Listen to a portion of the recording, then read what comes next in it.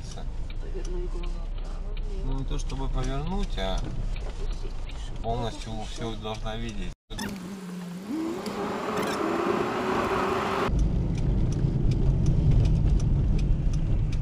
Вот зачем ты разгоняешься, а потом тормозишь?